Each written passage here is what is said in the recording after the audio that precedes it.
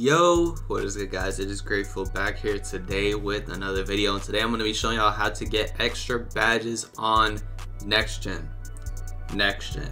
I, have done this video on current gen before, but I'm doing it on next gen today and it's going to be a shorter video too. I'm not really going to uh, drag this one out too long to be honest. Um, I've been kind of in that mood today to where I don't want to drag out any videos and um, yeah, I'm not monetized yet so I really don't care. But um, I'm gonna make a new build just to show y'all like how many badges you get extra just starting off the build. Now um, I think that's gonna be a rebirth. Hopefully, if there's not a rebirth on, I'm just I, I don't even know. I'm just gonna be annoyed because I'm already like annoyed as shit right now with the game. But um, yeah, like let's see. Hopefully this is a rebirth build. Obviously gonna have to go through all these stupid cutscenes. Um, I'm just I, I really hope careers is optional next year. I I just I just want to play like. I, I, every year I load up 2K and I'm just like, bro, I want to play. Like, I don't want to skip through 10 cutscenes at the beginning of the year. And the story is always corny. Every single year, it's always corny. Like I, they can't make a good story. They haven't made a good story since Spike Lee came on. That's Spike Lee. So it's like they they they can't do it good like good themselves. They need somebody like a movie producer on. Even the LeBron James story was was pretty garbage. So um yeah, once you're in here, you're gonna get badges for the rebirth, and this is how to get some extra badges. Like boom, I can add all these four to my shooting. Cool, so I get four shooting badges. So this is a diamond finisher, by the way. This is like a very old build. So like you know, this build's gonna have different badges, all this type of shit. But it's just something that I'm loading up really quick just to show y'all. So you get extra badges from um, Rebirth. You get like basically almost half of the badges in each category for Rebirth, which is pretty nice. So that's an easy way just to start off. And like I said last time, how you get a uh, Rebirth is you talk to Ronnie in the quest. And Ronnie will give you Rebirth. You have to get to 90 overall. Current gen is the same thing. Um, and yeah, so basically, after that, you get games. It's it's just not even gonna show me. I think it's because maybe I'm in here. Oh no, it's because the Vegas game.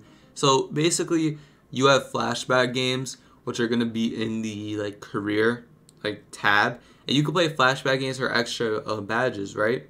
And basically, what you want to do is after you finish the flashbacks, you want to quit, like quit out, go out, everything. My fault, my voice is kind of like sounded weird. Like I'm, I'm very out of it right now. I don't know what it is, but so you want to go in here and you want to delete the build after you're done with the flashback games and badges. I wouldn't, uh, or no, you can't upgrade the build because um, you're gonna get it back. So you delete the build, you take a little clip of it.